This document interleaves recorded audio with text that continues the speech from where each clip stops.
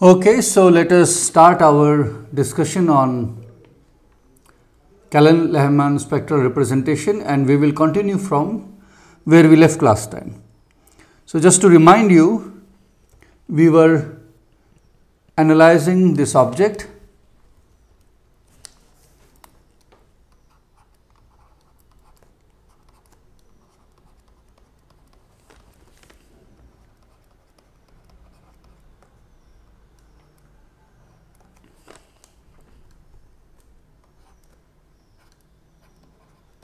okay. And where phi could be elementary field the field that appears in your Lagrangian or phi could be a composite field. Okay and we showed that go back that this can be written as this spectral density integrated over uh, spectral density times free propagators but this time the mass that appears in the free propagator is the mu square okay? And mu square is not a mass in the physical theory okay? It is something which you integrate over okay? So mu square takes all possible values from 0 to infinity. So this object takes this form. That doesn't mean that you have particles of mass mu square in your theory okay? That that's not something it means. It just means that this quantity can be written as an integral over mu square um, of the spectral density times the Feynman propagator okay where this propagator instead of having mass m it has mass mu square okay that is the notation here and you have to integrate over all of these. Let's see. Correct. Okay. Also let me write down the definition of rho tilde of q. Rho tilde of q is this. Okay. Let me write it down. So rho tilde of q is 2 pi cube times you have sum you, ha you are summing here over. All um, all the uh, states in the physical theory all this by all the states means I have taken um, the states n to be the eigenstates of energy momentum um, of uh, p mu okay? Energy momentum vector p mu. And this is what um, delta 4 q minus p n times omega let's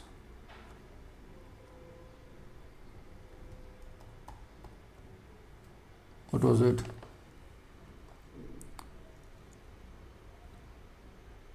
Five zero get n okay.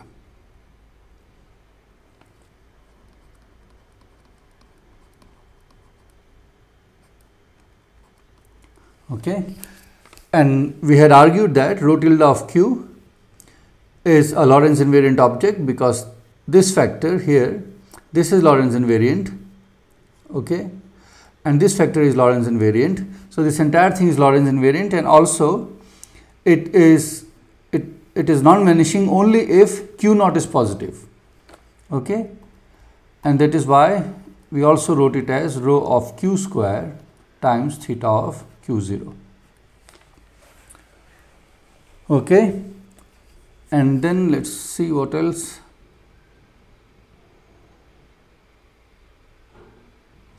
Perfect. That's all. Now we'll continue from here.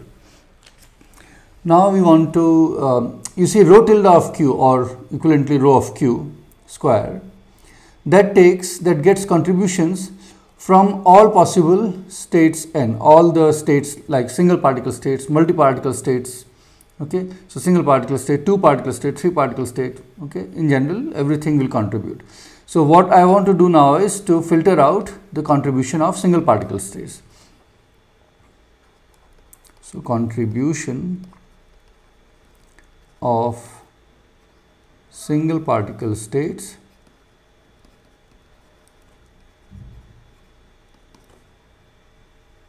to rho tilde of q. Okay, and these contributions I will call as rho tilde q single particle. Okay, and similarly rho of q square I will define rho single particle uh, with this argument q square. So, that is what we are looking at. Okay, so what is that object? That object is 2 pi cube, so that 2 pi cube factor here. Then summation over n, but now um, we have to appropriately replace this sigma over n by the by the measure that you have which we have discussed earlier is d cube k over 2 pi cube. I hope that's correct. No that's not correct. No factor of 2 pi cube we had just 2 omega k. You remember we had long back discussed that um, this is the appropriate measure for single particle states okay? Because the n label n is not discrete it's continuous. It's the single particle states have continuous momenta. So you have an integral and this is what gave you the correctly uh, the correct measure okay? That is fine. Now i should put delta 4 so delta 4 q minus now pn gets replaced by k okay? And then you have omega phi 0 k okay?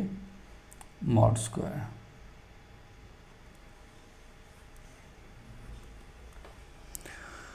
That's fine.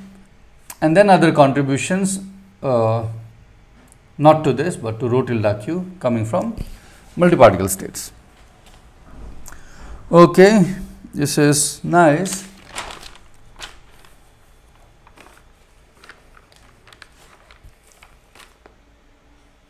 Um,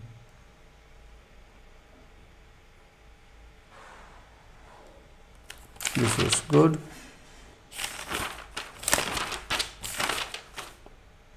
Yeah. Now what I will do is I will utilize the following result me so recall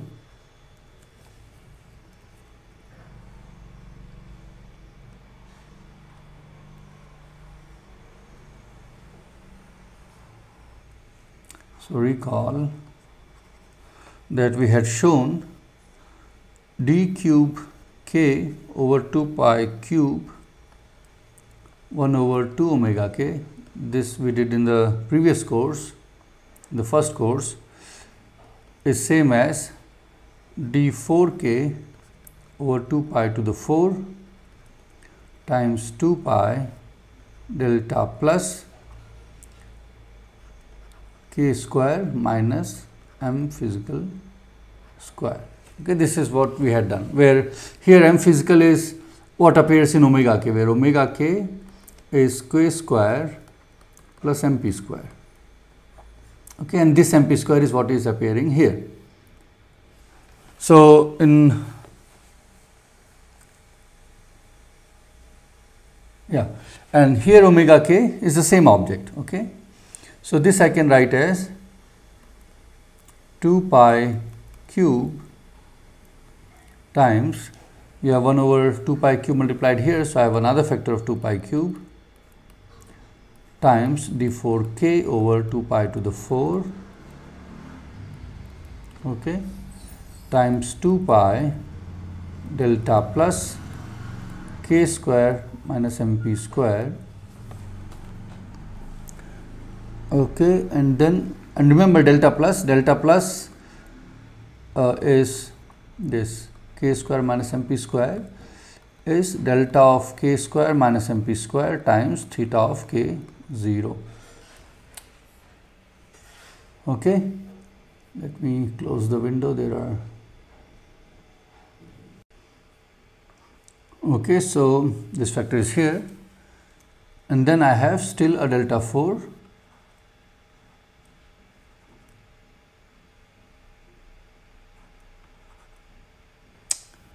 okay looks like again a problem let me finish this one and then I'll stop.